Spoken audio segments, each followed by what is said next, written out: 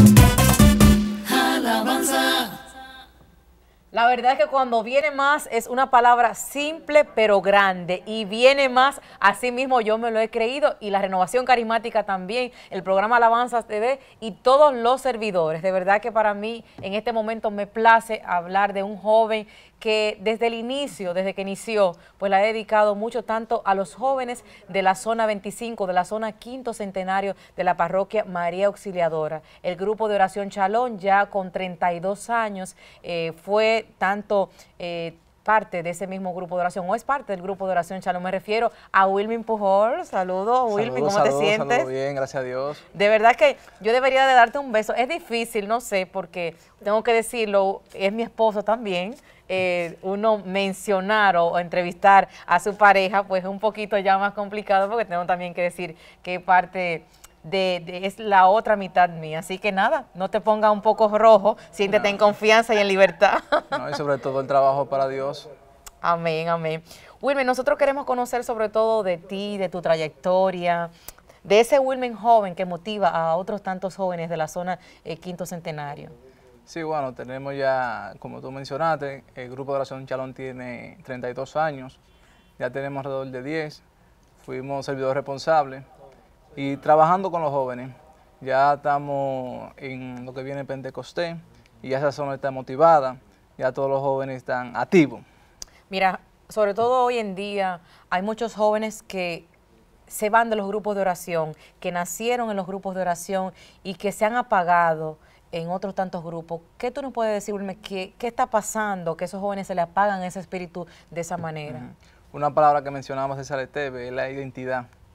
Cuando no sabemos dónde estamos, ya llegamos. Entonces podemos estar en la iglesia y uno como jóvenes tiene muchas cosas en el mundo que le hacen oferta.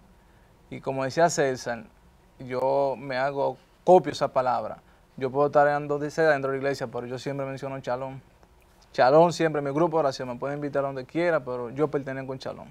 Esa es mi comunidad. Y me he invitado a trabajar en otros lugares, pero siempre con la identidad de la renovación carismática, sobre todo mi parroquia y grupo de oración. Entonces, cuando no tenemos esa identidad clara, cualquier otra oferta, ya sea en la vida personal, en un trabajo, en lo que sea, te roba.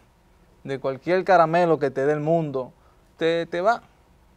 Entonces debemos pedir siempre ese Espíritu Santo y estar identificado con nuestra iglesia y lo que somos.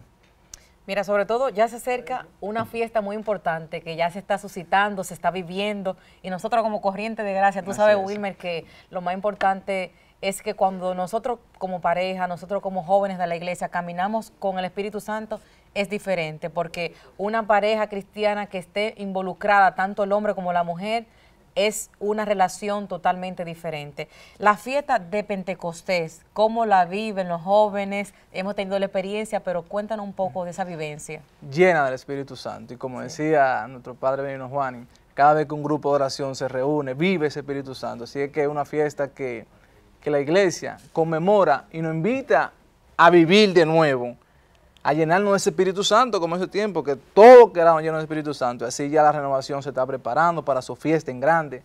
Así que animamos a todos esos jóvenes que a veces están en la calle o están apagados en la iglesia, a que se motiven a participar de las actividades que tenemos desde hoy, desde ya. Estamos haciendo nuestro calentamiento por la zona con los jóvenes a dejarse impactar, a dejarse llenar de ese soplo, de esa brisa del Espíritu Santo. ¿Y podemos ir o tenemos que maquillarnos, poner un traje grande? ¿Cómo podemos ir a esa fiesta o para acercarnos a cómo? Como somos. Ok.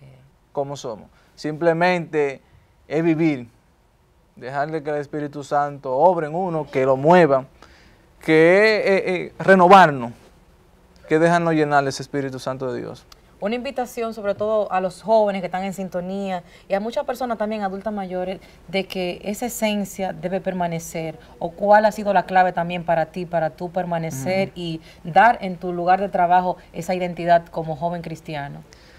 Primero la oración y dejarse guiar del Espíritu Santo de Dios.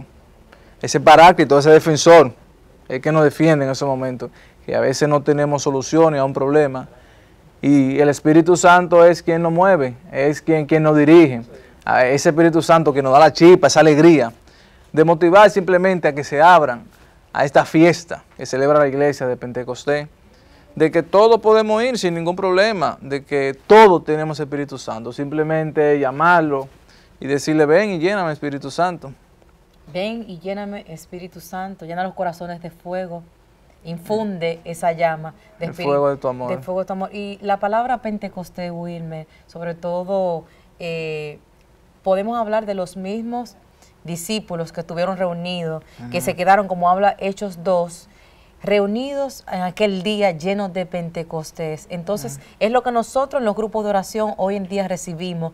Hay algo que nosotros sobre todo compartimos en el grupo de oración Chalón, es la vivencia de los dones del Espíritu Santo. Hoy en día el Espíritu Santo se manifiesta de diferentes formas en los grupos de oración. Tú nos puedes también hablar un poquito. Sí, y añadir también, Celina, que en Pentecostés todas las casas se llenaron. No solamente fue ese grupo. Ese soplo, esa brisa llenó a todo el mundo. Y el Espíritu Santo, como esa brisa, también se puede manifestar en una paz, en un mensaje. De cualquier forma, el Espíritu Santo va a la persona. Simplemente es estar abierta y dejar salir esos dones que cada uno tiene, cada persona tiene, pero debemos dejar que sea el Espíritu Santo que actúe.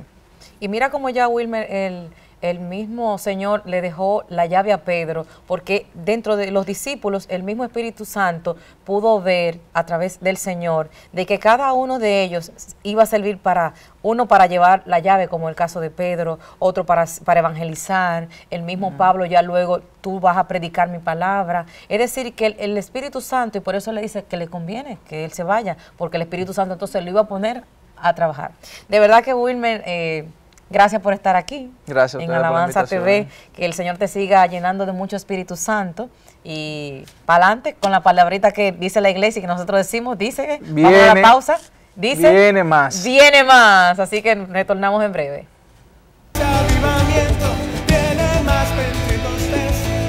El equipo nacional de la Renovación Carismática Católica Dominicana te invita a la vigilia de Pentecostés el sábado 19 de mayo, iniciando en las diócesis de Barahona, San Juan de la Maguana y Baní a partir de las 5 de la tarde. Y en Barahona, nuestro coordinador nacional, Luis Espinal, dará apertura formal en conjunto con los servidores de las mencionadas diócesis, concluyendo con la Eucaristía presidida por Monseñor Andrés Napoleón Romero. En San Juan, presidida por Monseñor José Dolores Grullón y para Baní, presidida por Monseñor Víctor Masalles. Continuamos con las fiestas de Pentecostés el domingo 20 de mayo a partir de las 8.30 de la mañana en la Arquidiócesis de Santiago, donde la Eucaristía la preside Monseñor Tomás Morel. Para la Diócesis de La Vega, la Eucaristía la preside Monseñor Héctor Rodríguez. Y en la Diócesis de San Francisco de Macorís, la celebración eucarística la preside Monseñor Fausto Mejía. Seguimos en la Diócesis de Puerto Plata, donde la Eucaristía la preside Monseñor Julio César Corniel. Estamos en la diócesis de Mao Montecristi y la Eucaristía presidida por Monseñor Diomedes Espinal. Estamos ahora en la diócesis de San Pedro de Macorís, donde la Eucaristía será presidida por Monseñor Santiago Rodríguez. Llegamos a la diócesis de la Altagracia en Higüey, donde la Eucaristía la preside Monseñor Nicanor Peña. Concluimos en la Arquidiócesis de Santo Domingo con las zonas del Distrito Nacional y las vicarías este, norte y oeste. Las celebraciones eucarísticas estarán presididas por el Arzobispo de Santo Domingo, Su Excelencia Monseñor Francisco Soria y los obispos auxiliares Monseñor Benito Ángeles, Monseñor Jesús Castro y Monseñor Faustino Burgos. Prédicas, ministerios, cantos, oración de sanación en todas las zonas. Y es así como se manifiesta que la renovación carismática es un movimiento de la iglesia y para la iglesia, haciendo historia rumbo a Pentecostés 2018. Y viene más. Pentecostés, nuevo, Pentecostés.